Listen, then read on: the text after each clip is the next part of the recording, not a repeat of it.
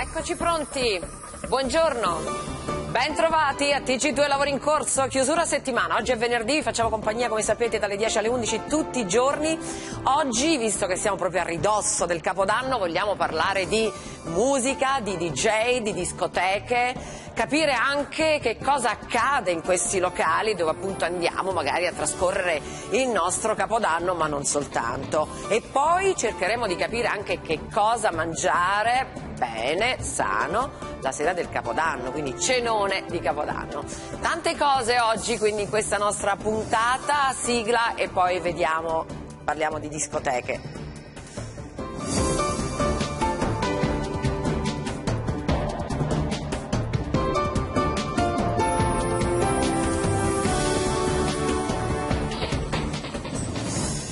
Eccoci prontissimi. Allora, abbiamo detto che vogliamo parlare di musica, eh, di DJ, di discoteche. Abbiamo una DJ eccezionale, Laura Cardarelli. Buongiorno. Buongiorno.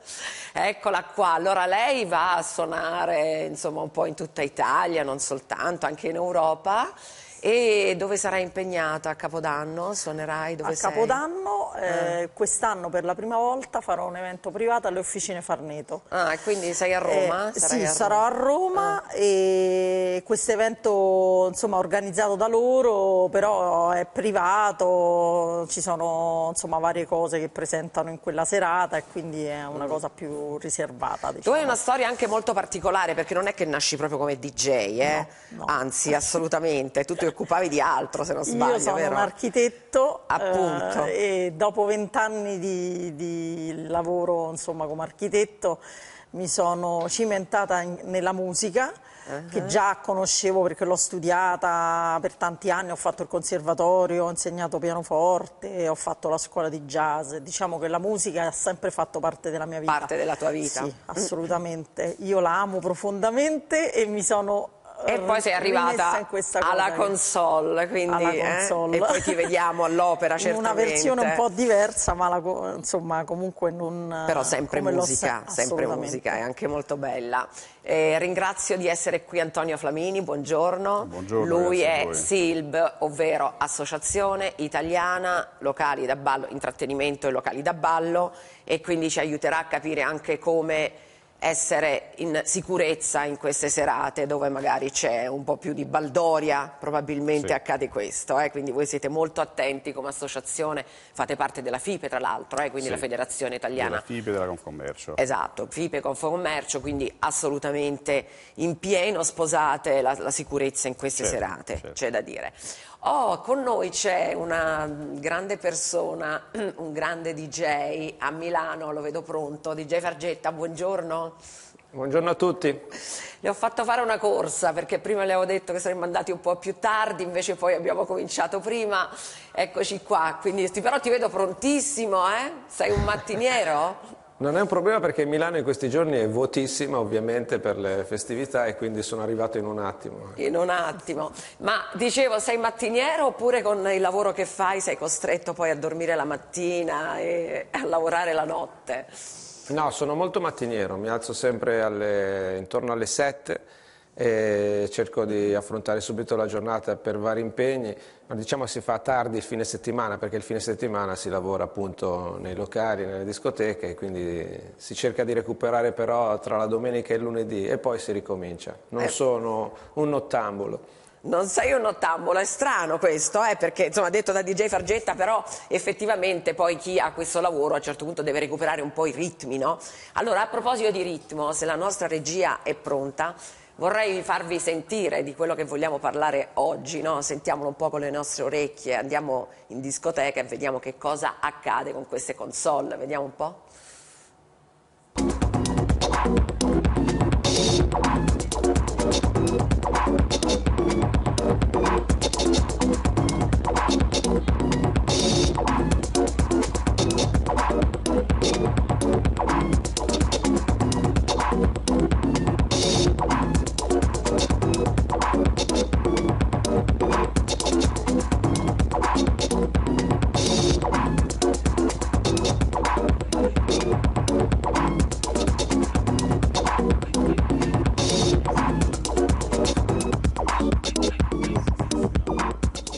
Allora abbiamo visto proprio solo un assaggio, perché devo dire anche un po' statico forse, perché succede molto di più nelle discoteche.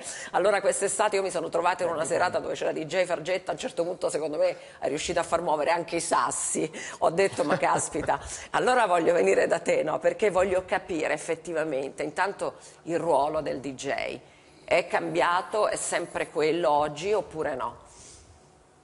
Ehm, il ruolo del DJ non è cambiato, è comunque rimane un, un, un, riferimento per chi è in pista e sta seguendo il, la sua evoluzione musicale. Diciamo che eh, rimane sempre lì dietro la console se la vogliamo intendere come DJ da, da discoteca. Rispetto a prima eh, che tutti i DJ, i DJ stavano dietro la console e facevano ballare il pubblico, adesso per essere un, un, DJ completo devi anche diventare produttore delle, delle, tue tracce e delle tue musiche, quindi eh, per essere al 100% dovresti produrre la, la tua musica e quindi poi proporre la tua musica nei locali da ballo, come vogliamo chiamarli, o discoteche. Questa è l'evoluzione del DJ, se vogliamo fare un riferimento al DJ della febbre del sabato sera che abbiamo, siamo sempre stati abituati a vedere eh, ai tempi del, della musica anni 70 dove il DJ stava dietro la console e faceva quello. Adesso invece il DJ deve diventare un produttore ed è alla fine quello che, che sono pure io. Ecco. Mm. Eh, Laura, che ne pensi di quello che ha appena detto sì, Fargetta? Sì, è, è, vero quello che dice. Il DJ adesso eh, lo utilizzano tra virgolette, anche per altro, cioè per fare un po' da PR.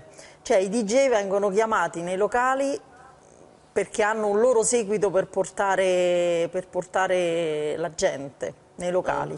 Allora, quindi... su questo però, ecco, su questo ruolo di, di, un pochino di sì. cambiamento, stavi dicendo quindi? Che un po', diciamo, porta un po' fuori pista mh, dal lavoro del DJ, però è, è, fa parte del, del, del pacchetto, cioè ti chiamano, figura. sì, assolutamente, ti chiamano nei, nei, nei locali anche perché porti un certo numero di persone, fai un po' da PR. Certo. Su questo mi viene da pensare, eh, Antonio Flamini, mh, la grande responsabilità che poi ha un'associazione come la vostra, ma più che altro in queste serate molto delicate, no? come può essere quella del Capodanno.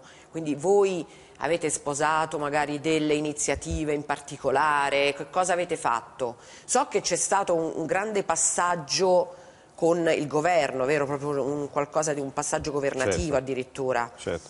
Intanto volevo riallacciarmi al discorso del DJ, mi fa molto piacere che la figura del DJ appunto sia una figura non superficiale come a volte si, si pensava o si pensi, ma di gente preparata che ha anche una, una, preparazione musicale importante sia prima che dopo perché Fargetta è diventato un produttore quindi c'è tutto un discorso certo. dietro a questa figura Grande che per noi è sicuramente centrale e fondamentale all'interno dei nostri locali. Il riferimento che, che, che faceva era riguardo al protocollo d'intesa che noi abbiamo firmato col Ministero degli, Interno e degli Interni, adesso c'è una ricaduta a livello nazionale che riguarda proprio la uh, sicurezza, che è un aspetto a cui noi diamo una enorme attenzione. La sicurezza dei nostri locali, la sicurezza dei nostri clienti, la sicurezza del, della notte in generale e che prevede una stretta collaborazione tra i nostri locali, i locali che fanno parte del, del Silva, della nostra associazione e le forze dell'ordine, quindi c'è grande collaborazione. È chiaro che la serata di Capodanno è particolarmente attenzionata perché è una serata unica, perché c'è una grande concentrazione di persone che eh, sceglie di divertirsi all'interno dei locali, anche se ultimamente la tendenza è quella di andare anche nelle piazze, quindi le città eh, Roma, Milano, Napoli, Firenze, eccetera, organizzano delle, dei momenti importanti all'esterno. Però la serata di Capodanno si divide in diverse tappe che cominciano dal cenone, la festa in piazza e poi magari si finisce in discoteca. Qualche volta è tutto concentrato anche nelle discoteche, certo. ma essendo una serata unica è molto delicata e noi mettiamo molta attenzione su questa serata. In passato sono state organizzate campagne come Capodanno sicuro, brindo con prudenza, dove noi davamo una sorta di decalogo e dei consigli soprattutto ai nostri clienti per affrontare questa serata in sicurezza e non commettere errori, scegliendo magari dei luoghi che non erano idonei, la piaga del nostro settore è rappresentata per esempio dall'abusivismo che c'è, cioè di gente improvvisata in luoghi magari non adatti dove organizzano i trattenimenti e organizzarli a Capodanno è ancora più rischioso. Ecco, questo è un aspetto sul quale voglio tornare, magari ehm, è importante sottolinearlo perché a casa il messaggio deve essere molto chiaro. Vedevo anche Fargetta che eh, annoiva, no? perché ci sono spesso situazioni che non sono così chiare e magari lì la sicurezza veramente non può essere garantita. La sicurezza è importantissima nel nostro lavoro e, mh, ha ragione perfettamente eh, quello che diceva appunto sulla questione della sicurezza perché soprattutto a Capodanno, ma direi durante l'anno, ma soprattutto a Capodanno ci sono delle feste organizzate diciamo così all'ultimo momento e senza le dovute precauzioni. Eh, certo che va sempre tutto bene, però quando succede qualcosa di grave eh, poi lì eh, siamo, siamo, sempre tutti pronti ad aprire gli occhi e ad intervenire. Bisognerebbe anticipare questa cosa, ma so che è difficilissimo. Ecco, Capodanno è una di quelle feste a rischio. Mm -mm. Eh, allora, se intanto la regia gentilmente può preparare eh, DJ Fargetta che sta all'opera, e quando è pronto magari me lo dite, volevo con voi affrontare questo argomento, ovvero il fatto di essere, oggi si dice molto, si usa questo termine influencer, cioè ovvero grandi smovitori di masse, quindi avete la capacità, no Laura? Sì. Allora un DJ a mio avviso ha anche questo ruolo, cioè una grande sì, responsabilità. È una grande responsabilità questa, assolutamente, perché mh, le persone si affidano cioè, proprio hanno, hanno, la propensione a, a, ad affidarsi a una figura a punto di riferimento che è il DJ, soprattutto in un, in un momento particolare che è quello del divertimento. Quando la gente si diverte, si rilassa, si, cioè, entra in, in, un mood diciamo, particolare e quindi la figura del DJ è importantissima è proprio una responsabilità grossa. Io me la sento tantissimo questa... È un trascinatore, questa... no? Nel bene sì. o nel male, diciamo, sì. perché poi... Esatto, perché nel, nel, momento del eh. divertimento e comunque nel poi bene. la gente si lascia andare. Certo.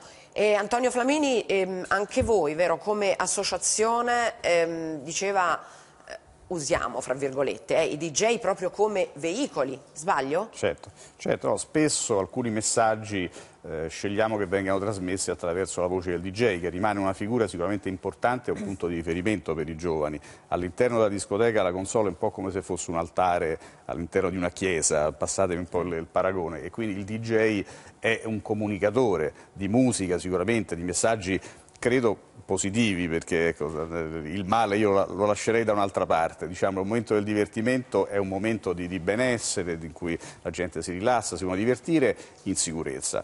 E qualche volta alcuni messaggi, per esempio quello del guidatore designato, cioè di colui che decide di accompagnare in sicurezza i propri amici a casa senza aver bevuto, noi lo abbiamo fatto trasmettere attraverso messaggi e dei lanci fatti appunto dai DJ che hanno una grande presa sui giovani e non solo sui giovani perché le discoteche sono frequentate un po' da tutti. Ah certo, eh, Fargetta su questo appunto mh, essere mh, così dei smovitori di masse, di giovani specialmente, eh, la senti la responsabilità in questo senso quando hai queste serate dove appunto ci sono infinità, una folla di giovani, dove c'è una folla di giovani? Ma sì, per fortuna c'è, e poi ultimamente ci siamo anche ritrovati tutti insieme con i miei colleghi Albertino, Molelle Prezioso e abbiamo fatto una reunion dove ci muoviamo tutti e quattro in eh, situazioni di quasi festival, anzi chiamiamoli festival, dove appunto ci seguono tantissime persone. Il nostro messaggio è sempre quello, cioè farli divertire in quelle due o tre ore dove noi ci esibiamo e quindi dare positività e, dare un sorriso con la nostra musica. E quindi quello che passiamo e che facciamo arrivare al nostro pubblico che ci segue è questo. È chiaro che poi rimangono tutti contenti. Il ruolo del DJ invece come influencer è sempre stato, è sempre esistito, anche 30 anni fa, perché comunque se andavamo o andavate a vedere un DJ in una discoteca di Milano o di Roma, eh, comunque quello era il riferimento di quella serata e quindi era un influencer quella sera, quindi tutti rimanevano abbagliati dalla, dalla musica che questo DJ comunque eh, faceva ballare perché era una musica particolare, quindi si distingueva dagli altri. Comunque in quel momento era influencer. Poi i tempi sono cambiati, adesso ci sono i social e i social documentano invece quello che già i DJ facevano anche vent'anni fa. Eh, ovviamente se parliamo di, di, DJ esteri ci sono dei DJ di grossi nomi internazionali che già smuovevano tante, tante folle, però probabilmente nessuno lo sapeva perché la comunicazione non c'era. Adesso invece si sa tutto di tutti e quindi diventano ancora più influencer e diventano veramente dei riferimenti. Dei grandi riferimenti sono, allora vediamo un po' DJ Fargetta al lavoro, vediamolo un po'. Tutti insieme, buon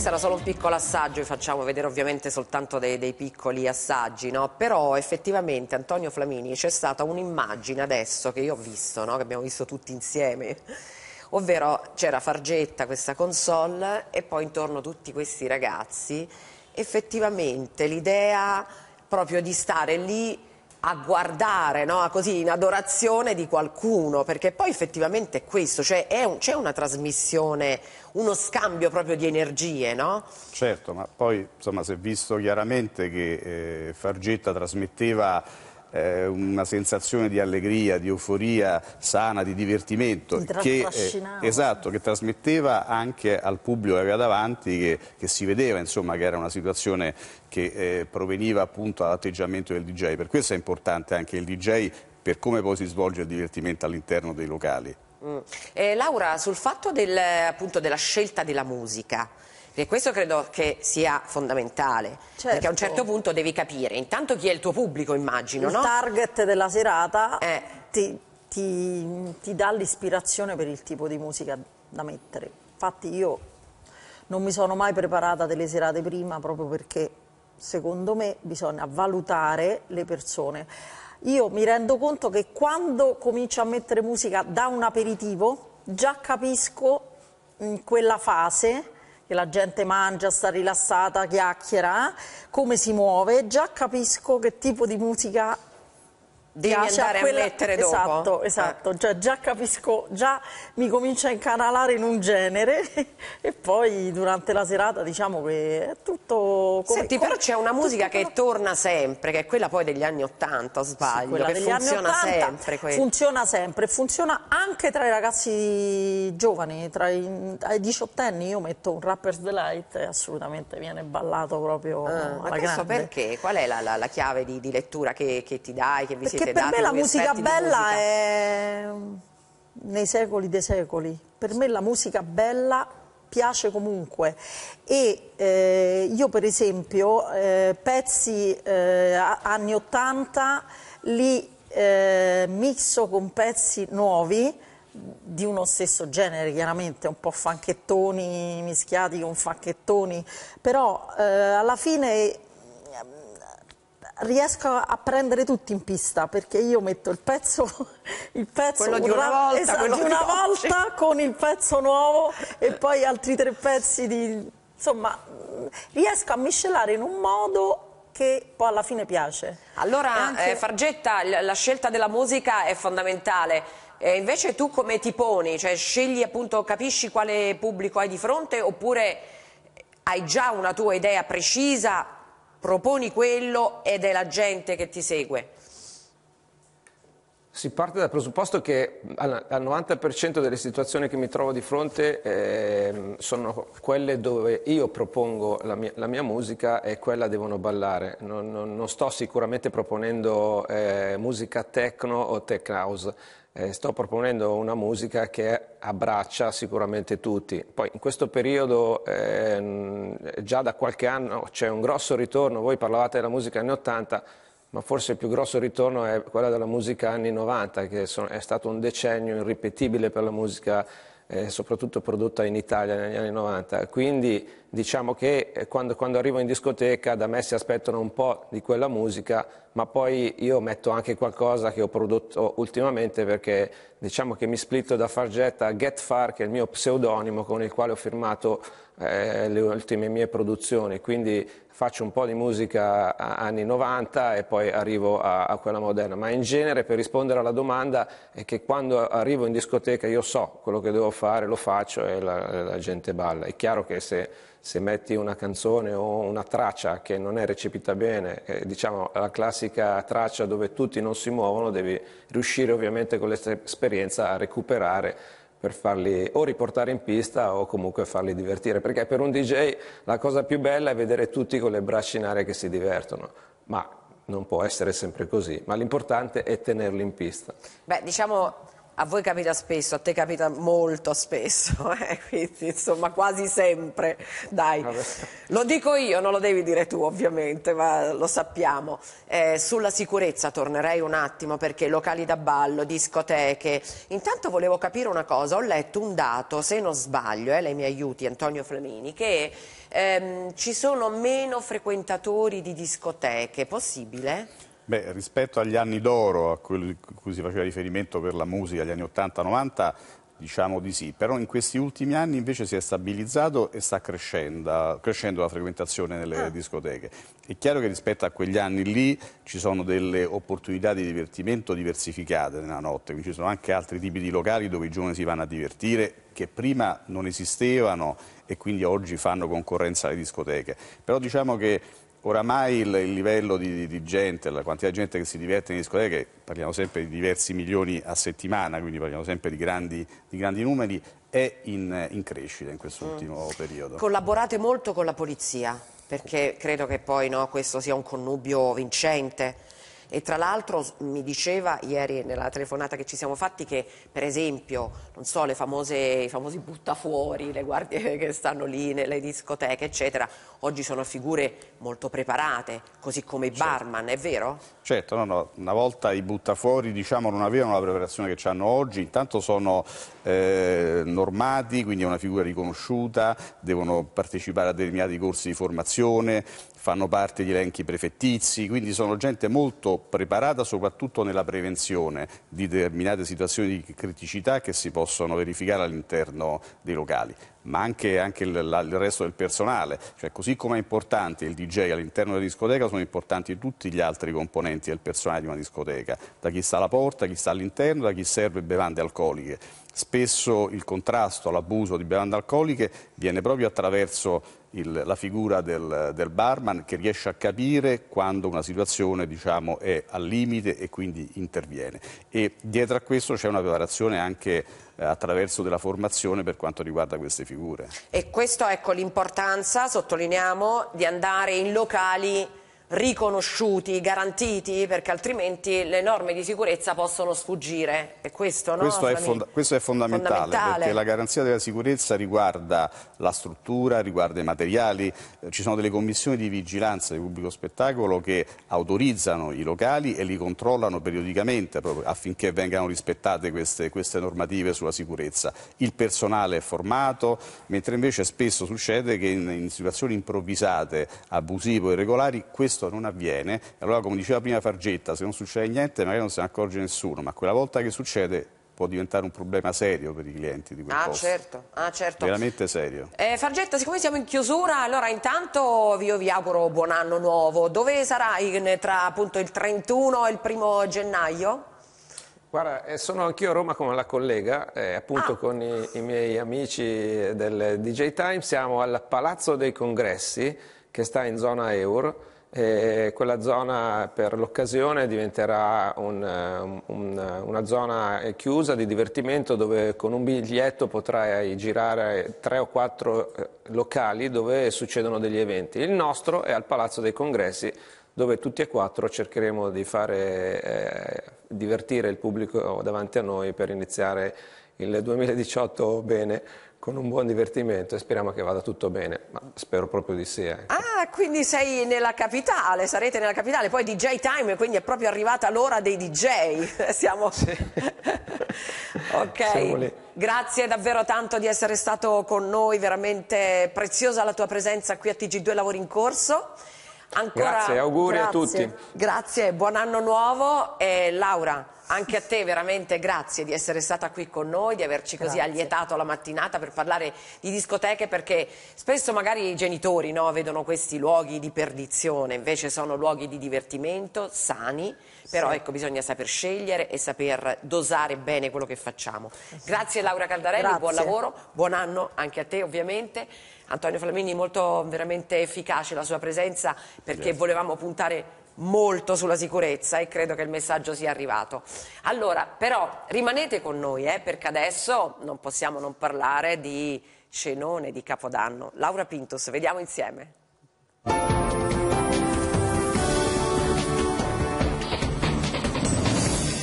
Capodanno si sa, non se ne può fare a meno, del resto Zampone e Cotechino sono per tradizione bene auguranti.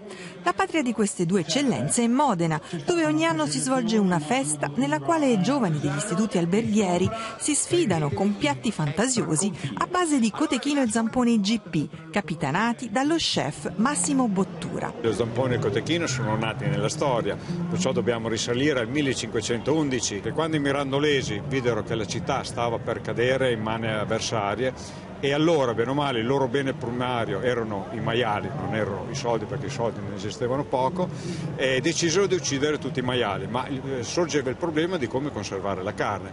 Papazzone, che era il cuoco del duca dei Pico della Mirandola, decise di metterla dentro alla pelle del piede anteriore del suino. E negli ultimi anni le caratteristiche di questo alimento sono cambiate, i grassi sono calati del 40%. Abbiamo segnato un più 1,5%, quindi siamo in crescita. Quest'anno ci attendiamo una cosa diciamo, simile anche perché il freddo non manca e questi sono prodotti che molto legati alla tradizione si consumano soprattutto quando fa freddo, anche se noi adesso vogliamo dimostrare perché dati alla mano si possono consumare anche durante tutto l'anno e anche in maniera ricettata. E non possono mancare eh, per la cena di Capodanno zampone e cotechino, c'è chi li gusta durante il pasto, chi aspetta ad offrirli per il brindisi di mezzanotte, dopo insieme alle lenticchie comunque sono di buon augurio. Ma come preparare un eh, cenone che sia gustoso, saporito, ma non troppo impegnativo? E abbiamo chiesto aiuto al nostro chef Alessandro Circello, che saluto, a cui do il benvenuto. Grazie. Ci racconterà diciamo, come, come orientarci, visto che siamo in prossimità di Capodanno. E poi invece per i golosi è veramente una mattinata concentrata perché forse proprio perché io sono golosa. Ci sono tre maestri artigiani che sono venuti a trovarci che parleranno di alcune specialità con tutta la loro storia e le tradizioni. Saluto Federico Di Iorio che arriva da Avellino con i suoi torroni che vedete anche qui esposti. Per i segreti del marron glacé di questa raffinatezza incredibile invece do il benvenuto a Giulio Giuliani, una famiglia di tradizione anche questa, e il panettone, il panettone del sud, quello di Nicola Fiasconaro, che saluto, che è tornato a trovarci e che ci racconterà di queste materie prime incredibili che creano un panettone squisito. Cosa cuciniamo? Allora, a Capodanno, prima di tutto abbiamo parlato di cotechino, come va preparato? Beh, il codechino eh, di Modena IGP è un classico, è un classico. Io ho realizzato delle ricette, eh, si può cuocere, l'importante è che si può acquistare o già precotto o il prodotto fresco, il prodotto fresco deve, essere, eh, deve bollire, deve cuocere, l'ideale è mettere eh, degli aromi, io ho messo dell'anice stellato, delle scorze di arancia, in modo proprio per dare ancora più gusto e cuocere in infusione, un po' l'idea di cuocere un qualcosa in un tè o in una tisana. E eh, una volta cotto poi può essere dorato in padella, un po' come una cottura a bassa temperatura, no? che adesso va tanto di moda nella cucina moderna, moderna proprio per dare croccantezza nella parte esterna e abbinarlo a tutto tondo a qualsiasi ricetta. Chiaramente è un'ottima idea le lenticchie, abbiamo le lenticchie di Castelluccio proprio anche per aiutare per un momento di, di, difficoltà avuto dal territorio, abbiamo le classiche lenticchie decorticate, anche quelle arancione che danno un buon effetto cromatico, possiamo abbinarci Ma qui le crema... vediamo passate? Sì, sono lenticchie arancioni decorticate, frullate, addizionato della zucca e poi la cottura del, del codechino eh, di moda IGP fatta con l'anice stellato, del lauro e del rosmarino, quindi cotto in un liquido aromatico, un po' un brodo, per una mezz'oretta e poi dorato e scaloppato, un po' a modo di tagliata di manzo. E quindi tanti aromi, tanti profumi proprio per renderlo ancora più digeribile, perché alla fine non è molto grasso, abbiamo sentito prima sì, dal consorzio sì, ultimamente i grassi sono molto inferiori anche per il mangime che danno poi ai maiali, è cambiato proprio il trend diciamo. E poi si mangiano due fettine Quanto che ci vuole mangiare. preparare questo piatto? Beh, il tempo di cottura prendendo il prodotto eh, fresco, quindi partendo da un prodotto fresco, il codechino deve cuocere almeno 50-60 minuti in questo liquido aromatico. Se prendiamo quelli già precotti basta soltanto andarla a rigenerare in padella proprio per renderlo croccante. E poi l'abbinamento può essere polivalente, ecco, sta bene anche una crema di ceci, magari con dei gamberi croccanti, quindi abbinare anche eh, dei crostacei. Sono ingredienti che poi sono ricette che a tutto tondo si, si realizzano nella cucina quotidiana. è capace. Qui vediamo una splendida natività, questo presepe delle feste che ci ha portato il nostro Nicola Fiasconaro dalla Sicilia, dalla zona delle Madonie, da Castelbuono. Certo. Qual è la tradizione? Ma sembra che oggi finalmente il panettone è stato sdoganato, insomma, è rimasto il mito meneghino, è rimasto il mito della cultura anche piemontese e veneta, ma oggi è bello poter dire che dal Trentino alla Sicilia migliaia di panificatori e tanti bravi pasticceri si fanno il loro buon lievitato da ricorrenza. Io ho iniziato da ragazzo, eh, a quell'epoca mi prendevano per matto, fai le cassate, fai i cannoli, fai le paste di mandola, questo è il tuo patrimonio. Eppure mettendo in questa cultura di un dolce da ricorrenza le nostre componenti, i nostri ingredienti, i nostri aranci, il pistacchio piuttosto che gli agrumi in genere, l'uva sultanina che inebriamo con marsala superiore o zibibbo, eh, avviene qualcosa di molto accattivante e oggi il nostro panettone è abbastanza, come dire, è un panettone caratteristico. Acquistato non soltanto in Sicilia o in Italia, ma. E che vendete tutto l'anno, so. Siamo fra l'altro riusciti a destagionalizzarlo, questa è stata una sfida ancora più ardua. Ovviamente i numeri di produzione durante l'anno ricorrenza sono molto più limitati, ma d'estate si viene a Castelbuono quindi accanto a Cefalù in questa, questa, piazzetta di questo paese medievale e tutti vengono ad acquistare, i turisti che vengono in Sicilia a Castelbuono il panettone come souvenir, se lo portano come cadeau e lo portano in tutto il mondo, è una cosa molto bella. Passiamo ad un'altra storia, sempre del sud. Si parla di torrone, si pensa sempre un po' no? a Cremona, al nord, eppure è addirittura dal 1700 che la sua famiglia e i suoi avi eh, producono torrone, così? Sì. La mia famiglia in provincia di Avellino, in un piccolo paese che si chiama Dentecane, che ha anche un nome un po', un po curioso, produce torroni. Produce torroni quindi da 111 anni prima dell'unità d'Italia. E che tipo di torroni sono? Che, che, che materie prime utilizzate? Qui li vediamo su questo tavolo. Beh, Sono vede, splendidi. Il torrone, noi produciamo torroni in una zona che era abbondantemente come dire, eh, ricca di nocciole, eh, in una zona dove c'era il passaggio di, eh, della transumanza che avveniva per il collegamento di due mari, quindi Mar Tirreno e Mar Adriatico, e quindi avevamo anche abbondanza di mandorle, motivo per cui tutti i nostri torroni in realtà sono fatti sia con mandorle che con nocciole, rigorosamente delle nostre terre, e in aggiunta poi con il nostro miele. Stiamo vedendo questa splendida lavorazione, Sì. è meraviglioso soltanto a vedersi. Eh, le- I macchinari sono macchinari che avete recuperato, vista la storia? Sì, vede, noi ci abbiamo tenuto a, come dire, a conservare la nostra, la nostra tradizione, sia nella scelta delle materie prime, che sono quelle assolutamente di un tempo, ma anche e soprattutto anche eh, nel mantenere eh, dire, un, filo con quello che avveniva nel passato, anche dal punto di vista dei macchinari. Ed ecco che voi state notando che il nostro torrone infatti viene cotto in delle torroniere che hanno ancora la bacina di rame. La rame, così come potete notare che sui tavoli c'è eh, la pietra di marmo, il granito e gli stampi sono di legno, quindi cerchiamo di fare un po' le cose come avveniva nel passato.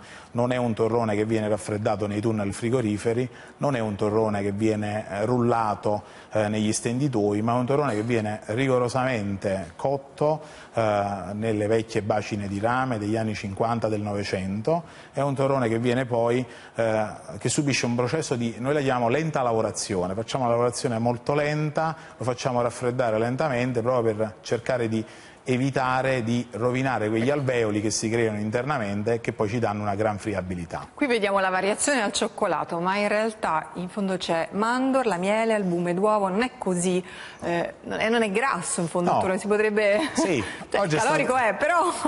Beh, vede, oggi è stato anche rivalutato come tipo di prodotto, nel senso che molti dietologi dicono che all'interno di una dieta, cioè se proprio dovete mangiare un dolce, mangiate il torrone perché è sì calorico, ma non è ricco di grassi, quei famosi grassi che poi si attaccano alle arterie. Perché se noi andiamo a guardare il torrone di cosa è composto, è composto da frutta secca, che pare che faccia bene, almeno tutti così dicono, e dal miele, miele e zucchero. Quindi non ci sono altre sostanze ambigue, non ci sono grassi vegetali idrogenati, non ci sono quelle famose sostanze che insomma oggi sono un po' messe all'indice. Poi è un dolce che si ricorda la notte dei tempi, che non ha mai fatto male a nessuno, che addirittura lo si può mangiare anche oltre scadenza perché il peggio che potrebbe succedere è che una mandorla è andata male. Adesso Giulio, Salve. raccontiamo qualcosa della tua famiglia, ma prima voglio vedere insieme questo, questo servizio per capire qual è l'arte incredibile del marron glacé raffinatissima. Faccio tapirulà, i dorsali, pettorali. A 90 anni compiuti il signor Giulio non si fa mancare un'ora di palestra, ma la sua buona forma è dovuta anche alla passione per una prelibatezza che lo accompagna da quando di anni ne aveva 20 e andò in Svizzera per imparare l'arte del marron glacé, Ne mangiano minimo uno al giorno. tradizione la cui origine è contesa tra piemontesi e francesi e che dall'Ottocento ha trasformato quello che era il pane dei poveri in una raffinatezza unica.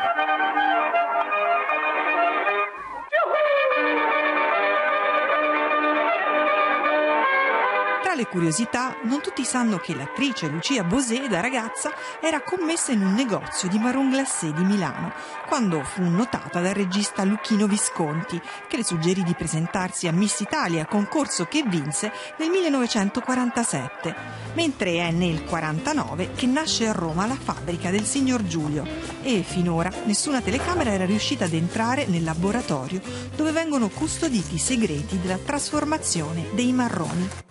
Abbiamo visto nonno sprint, Giulio, Esatto. stesso nome di nonno Esatto. e, stessa- e continui la tradizione Esatto. insieme anche a papà de- della Esatto. lavorazione del marron glacé. Io sono la terza generazione e sto continuando ormai da parecchi anni a far crescere eh, la nostra azienda. e Anche tu mangi un continuare- marron glacé al giorno per arrivare come Direi nonno a anche fare palestra a esatto, 90 anni? Esatto, abbiniamo un marron glacé al giorno e un'ora di palestra al giorno, diciamo.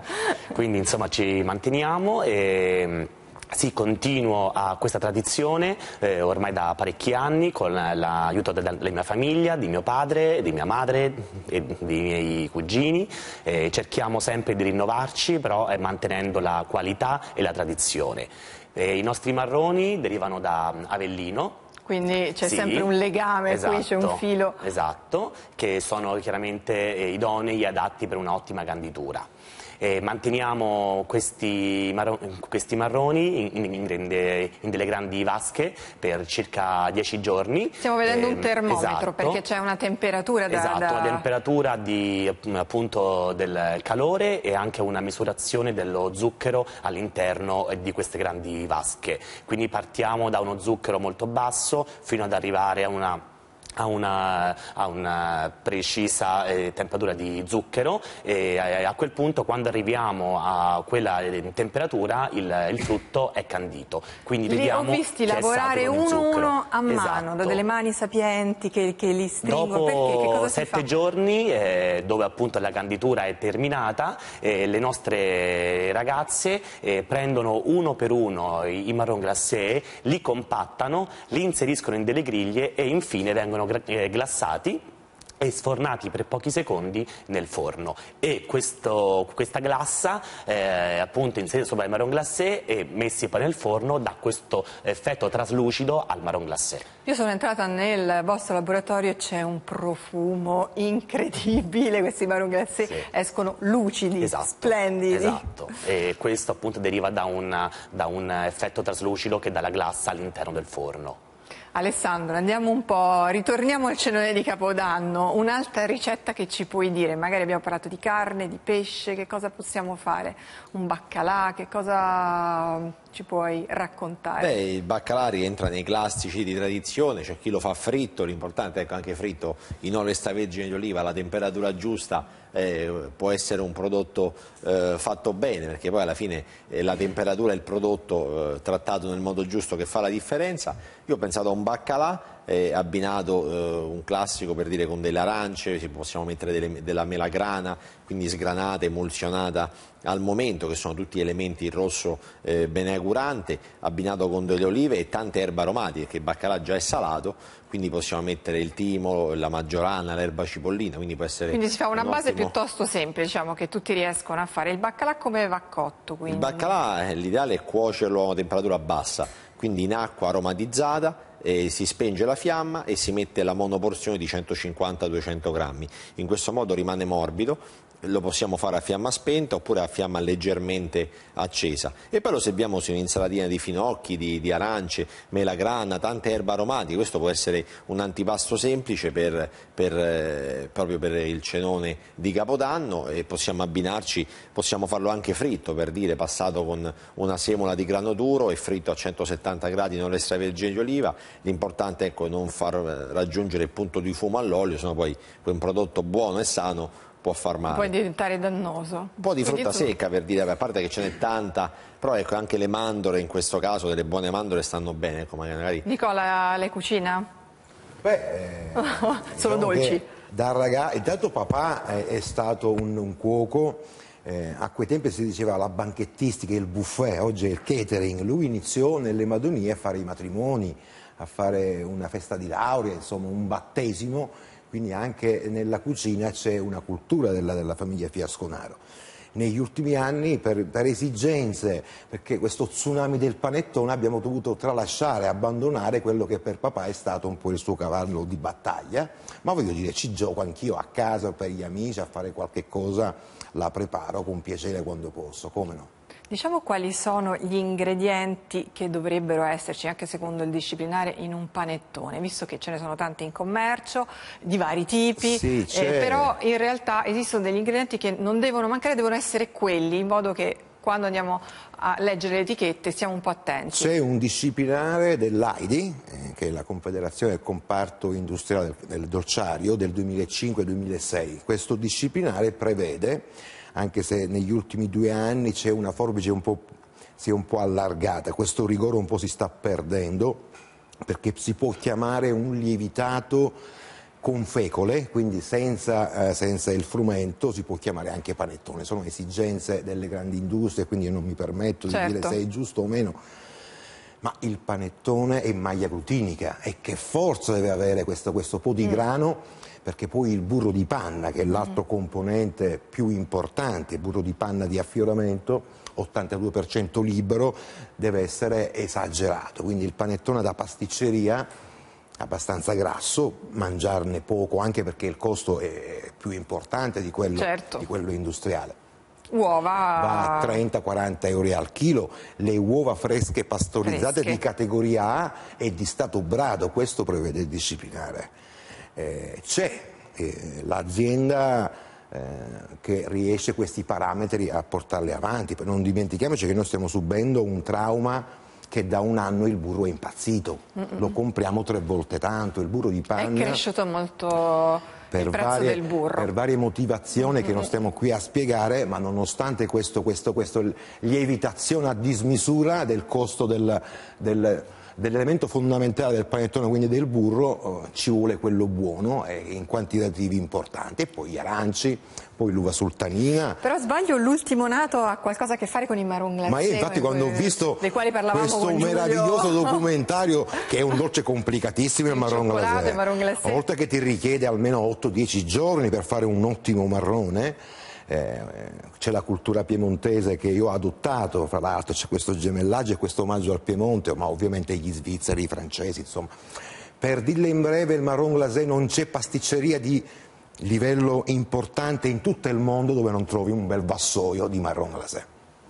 Beh, sicuramente Un è prodotto- dolce più raffinato e È un più dolce. Un prodotto è che non ci appartiene culturalmente in Sicilia, eh, ma ho cominciato a giocare ed è nato l'ultimo, l'ultimo parto fiasconaro e il panettone marron noir. del Ancora mar- gli del- manca quella verb, quella cattiveria perché appunto è un prodotto che non, Panettone. non è la mandorla, non è appunto gli agrumi che giochiamo in casa, ma è un- una materia prima affascinante, la castagna, in questo caso quella piemontese di Venasca, siamo nel Cunense.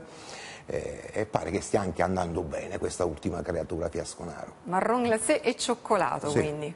Beh, insomma, non male direi. Sono 18 gusti che facciamo di lievitati ed è affascinante dire che oggi nel mondo, proprio la- adesso c'è il SIGEP a gennaio a Rimini, l'anno scorso il panettone. Eccolo, lo stiamo, stiamo spuntata- vedendo la preparazione sì, questa spuntata sul, sul, ehm, sul tiramisù è l'ambasciatore, il dolce simbolo italiano nel mondo, è il panettone italiano. Questa cosa quindi per chi lo produce da pasticcere ti inorgoglisce, ti fa davvero grande piacere.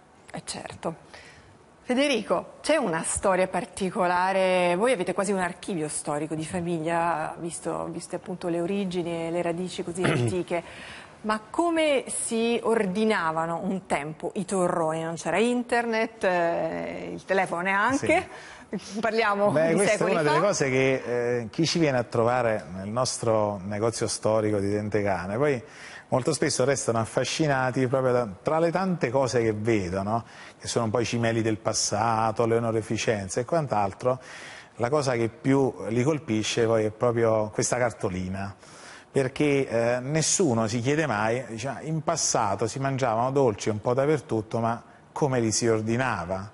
E noi abbiamo conservati e messi in delle teche, quindi appesi al muro, delle, delle vecchie cartoline degli anni 30 in cui eh, se le si va a girare dal lato di dietro troviamo l'ordine di torrone.